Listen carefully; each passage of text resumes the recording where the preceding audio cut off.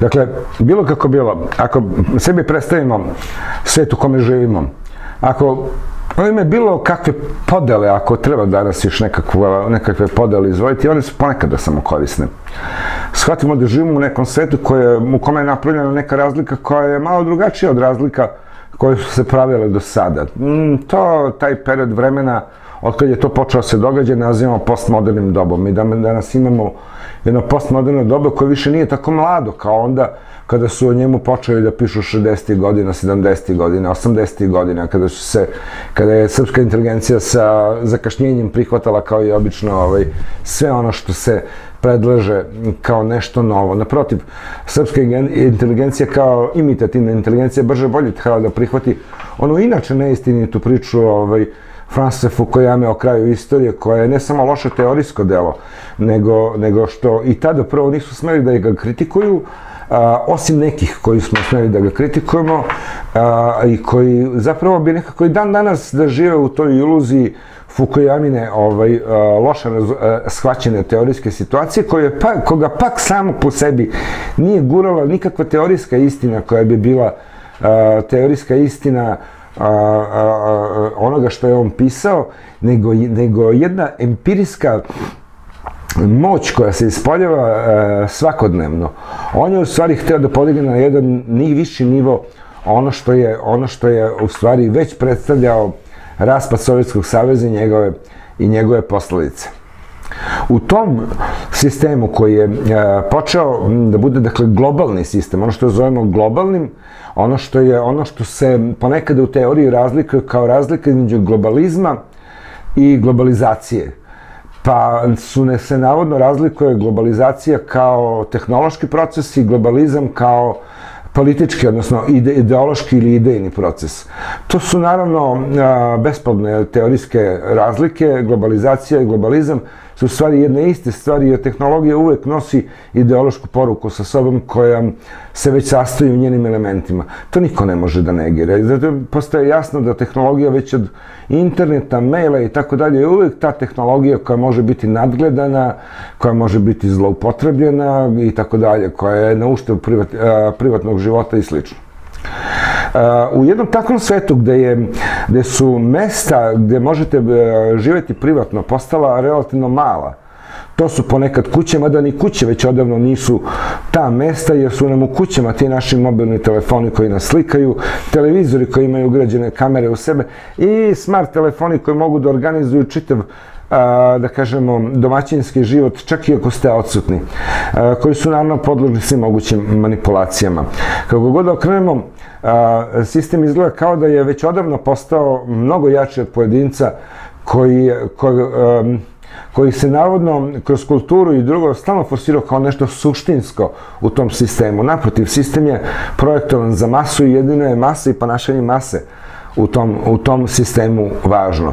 Si, mi već odavno živimo u orvelijanskom vremenu, u vremenu koje sada treba doslovno shvatimo kao orvelijansko vreme, jer kao što znamo, to su nam, to su nam da, da se umetnički izrazimo, radovi Juliana Assangea i Edwarda Stonera već odavno pokazali, te to nema potrebe dalje dokazivati. Dakle, u tom orvelijanskom svetu pitanje je imali ikakvog izlaza ili već odavno nikakvog izlaza nema, kao što su to mislili već kipici 60. godina u svojoj čuvenoj frazi no place to run, no place to hide, koja se kasnije promovisala i 70. 80. 90. 2000. pa evo i danas, jesu zapravo svi svesni ovog glatkog prostora gde ste uvek pod nadzorom. Gde smo uvek pod nadzorom. Da li je taj sistem koji, je, koji nas uvek drži pod nadzorom zapravo taj sistem koji je u svakom trenutku moćan do te mere da mu nikad ni na kakav način ne možemo izbeći. Mi, mi bismo ovde mogli da tvorimo raznorazne distopije, da pričamo o tome, međutim, kakve god distopije da, da, da, da, da definišemo, bolje je da vidimo da li u, među svim tim distopijama postoji nešto što bi na neki način moglo da bude um, emancipativni, oslobađajući element za sve nas, ovaj, ne samo koji živimo na planeti, nego koji živimo kao narodi, koji živimo kao privatne osobe i koji živimo na raznim oblicima kolektivnog postojanja. Dakle, kad se malo bolje razmisli kompletna situacija, kad se ona malo i ekstremizuje, ono što nije, ono što nije kontrolabilno danas, jedino što nije kontrolabilno, to je ljudska reč. I to samo ona ljudska reč data u prostoru koji nije takozvani gladak prostor, to jest, da kažemo ponovo to, prostor koji je uvek snimljen. I zvučno, i vizuelno, i na bilo koji drugi način. Uh, dakle, uh, znači, ta mogućnost, barem na periferiji sistema, a negde u sistemu još uvek, šta god mi misli, ako nismo baš potpuni paranojci, ovaj, postoji. U situacijama kada je to obezbeđeno, reč postaje nekontrolabilna. To je ono što se može obezbediti a, a, pod uslovom da, da je takva stvar, da, je, da se takva stvar izvodi. To jest da postoje oni koji su zapravo spremni da tu reč datu u tom trenutku zapravo i održe, jesu je dali i po tim uslovima i imaju a, a, neposrednu intenciju, neposredno usmerenje da će svoju reč i održati. Kao što vidimo inače u svim drugim društvenim tokovima, nešto što mi nazivamo sobstvenom rečiju, koja nas u stvari moralno definiše i određuje, je zapravo propalo. Mi se danas lažemo u svakom trenutku, možemo govoriti kad ne želimo kod nekog da dođemo, možemo mu uvek kazati 10 minuta pre vremena nego što treba da stignemo da nam je pukla cev u stanu, niko to ne može da proveri i zapravo se oslonjamo na onu istu dečiju magiju koja nije tek magija, a to je da niko ne može biti u našim glavama. Ili barem ako niko ne može prisustvovati mestu gde se mi nalazimo. Ova tehnika vizuelna i komunik, komunikacije koje omogućavaju, nešto od toga i dalje ovaj, skraćuju. Recimo, ljubomorni muževi proveravaju svoje supruge tako što im kažu uključi telefon da vidimo gde se nalaziš. Znači, to je takođe neka mera kontrole gde mi na ličnom planu u stvari prihvatamo one iste stvari koje koje nama sistem radi. Da sistem ne može da pregleda nikada sve naše telefonske razgovori, sve naše audio-vizualne zapise, ali ukoliko postanemo iz drugih razloga zanimljivi, on, on, to, on to dakle uvek može. Da li je moguć beg iz takvog sistema? Da li je zapravo taj sistem koji se prvo pretvorio, naravno, kažu, uh, iz nekog tamo e, robovlasničkog sistema u neki feudalni sistem, pa iz nekog feudalnog sistema u nekakav kapitalistički sistem, iz koga je jedni kažu ovaj, degenerisao u socijalizam, da ne kažemo komunizam, ili pak ostao kapitalizam, za koji sada primećujemo da više se ne vraća ni u kakav kapitalizam, kakav smo znali, da nam ne radi na dobro i da, u stvari, termine refeudalizacija koji smo već koristili u ovim emisijama je zapravo ono što opisuje savremeno stanje stvari. Pritom smo već opisali kako se komunikacija u tome svemu odvija i da li je sada moguće na neki način umeći sistemu i da li je moguće u nekoj teoriji jednog dana ovaj, a, a, a, pa predisponirati, predisponirati situaciju koja, koja znači krah. Krah svega onoga što znamo kao veliki objektivni poredak stvari kao globalizaciju, kao apsolutnu vladavinu zapada i tako dalje i tako dalje, kome su svi počinjeni i gde se veliki brat nalazi negde između Londona i Njujorka ili Los Angelesa, ali već kao da je to važno, naći ćemo ga pre ili kasnije. Dakle, da li uopšte moguće ili treba naprosto se predamo tom sistemu u kome, u kome, u kome, u kome boravimo? Čini se kao da prosto govor i ovo naše bacanje kapljica u more, u okean, u beskreni svetski okean informacija i govora, a, eto, kao nekakva očernička a, nada može da pridonese tome da a, možda osvetlimo stvar koja se oko nas dešava. Da li je moguće da se, da se ova totalitaristička refeudalizacija koja, koja se događa nas, u kojoj živimo, se izmeni? Da li je ona moguća? Da li je moguća bilo kakva sloboda koja zapravo ne bi pristajala nekakvoj trivialnoj slobodi kapitalističkog sistema u kojoj je važna boja kose, boja haljine ili seksualno opredeljenje ili pak u kome takođe više ne važe one marksističke priče o klasnoj borbi i sličnim stvarima. Pa sad evo kad gledamo klasnu borbu i taj marksistički sistem isto kao za mnoge stvari koje su već ljudi navodno pregazili, mi možemo da primetimo da kad, kad god pogledamo neku državu, mi vidimo da je klasna borba naprosto nestala.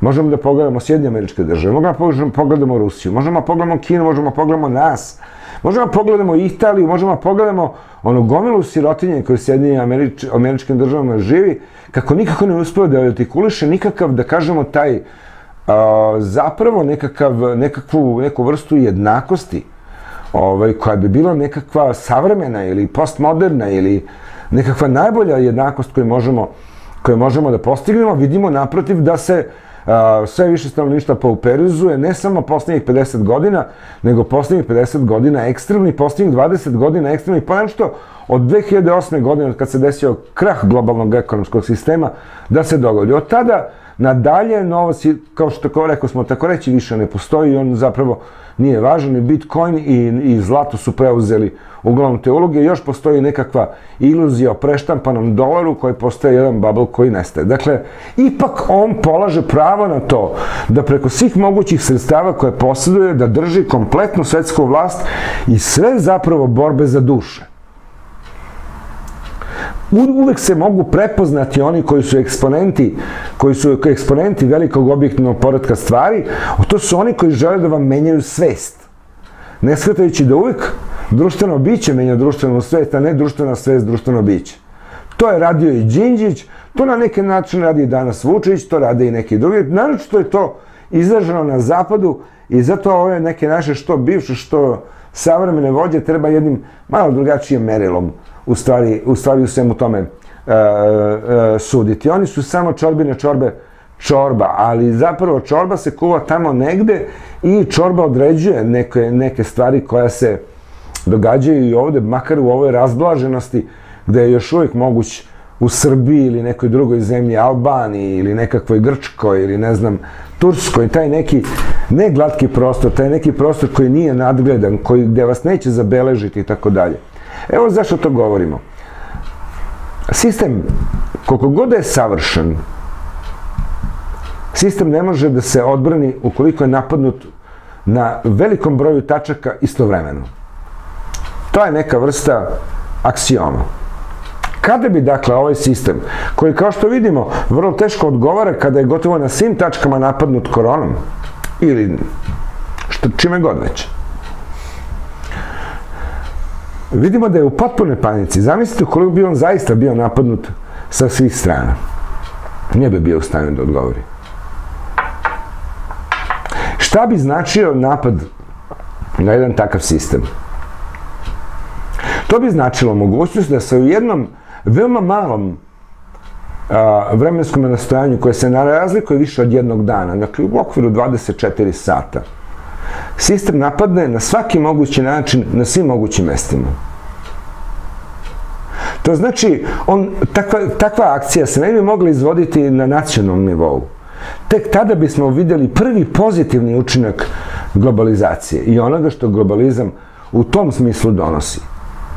Da globalizam se izrazi tako, odnosno ta globalizacija, da sistem u jednom, tački, u jednom trenutku ili u jednom proizvodnom malom a, intervalu vremena bude napadnut u svim mogućim tačkama u kome je moguće da on bude napadnut. To znači da se u svim, na svim mestima gde ne vlada dosledno veliki objektivni poredak stvari, Amerika, novi svetski poredak, zapad, kako god to nazovite, postmoderni i tako dalje, napadnu sve ambasade, sve, sva vojna, sve vojne postaje, svi privatni ljudi koji rade za bilo koju kompaniju i same kompanije do poslednjeg čoveka, do svakog pripadnika, po cenu ogrešavanja o tome da se i o nekoga ogrešimo. Inače, stvar neće raditi. Znači, jednog dana napadnu sistem u svim tačkama, nikada neće moći da odgovori.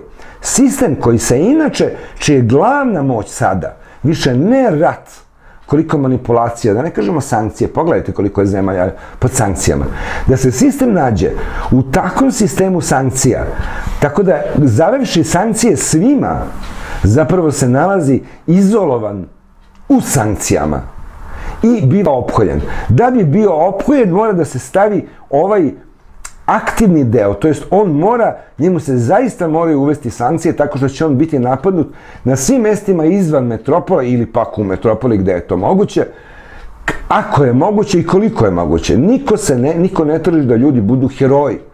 Napad napasti tamo gde je moguće. I čoveka, i ženu, i dete. Odvesti ih, internirati ih. Ne moraju se svi ubiti. Poslati ih natrag, pre svega, ako je moguće. Znači, to bi bila akcija koja bi mogla da se izvede. Kako je takva akcija uopšte moguća? Kada su sva sredstva komunikacije pod merilima sistema. Kada iz tehnoloških razloga znamo da računari nikada ne mogu da naprave samo jednu stvar. Baš kao što mašina ne može biti inteligentna uprko svim tvrdnjima, tako i mašina ne može da napravi jednu drugu stvar, a to je original.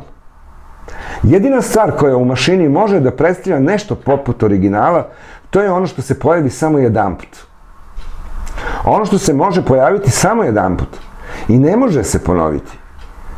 I što se definiše kao to koje se pojavljuje samo jedan put i koje se nikada više neće pojaviti. Jer ako se pojavi znači da je laž, to je nešto što može biti delotvorno. To je nešto što inače sam sistem prepoznaje, ali mu se ne može suprostaviti. Sistem je to radio, recimo, poslednji put u Belorusiji. Tada kada vi u stvari komunikativno preplavite čitav svet. E sada je pitanje kako zapravo dovesti, šta bi to moglo da pokrene, šta to treba da pokrene lavinu ovih događaja. Lavina ovih događaja treba da pokrene jedno pismo. Jedno pismo, kažu svi gotovo neverovatno. Pa svi će ga obrisati sa, sa svog interneta kad dolazi sa nekakve neposledne. Ne, naravno i sa interneta, svim sredstvima, obeštenja, pisma, pogotovo pisma, fizička pisma, koja odu u tom jednom jedinom primjerku. Samo tada i nikada više, pri čemu se svi obaveste da je to samo tada, to je uslov, to je uslov čitave akcije. Tada, pošto budimo realni, iako postoji osnov za masovnu emancipaciju čitavog sveta, ne postoji još dovoljno prosjet, pro, prosvećenosti u čitavom svetu, da bi se moglo ponovo napisati jedno delo kao što je nekada to napisao Marks pišući Kapital ili kao što su neki drugi ljudi napisali velike knjige poput Machiavellija koji su zapravo koji su zapravo upućivali na, na ono šta treba da se radi. Pa sećamo se i u velikom oktobru Lenin odgovarao na pitanje šta da se radi. Kad pitanje šta da se radi, šta može da se uopšte radi, ovo je jedan od mogućih odgovora. Dakle, moguće je fizičkim pismima, mailovima, kupovinima, bazi, baza podataka i tako dalje, iz jedne razmjerno male organizacije poslati 10% poruka svom svetskom stanovništvu. 10% poruka, možda 5. Još bi to moglo da se proračuna. Koliko je potrebno? Da se zakaže dan u kome se napada veliki objektivni poredak stvari.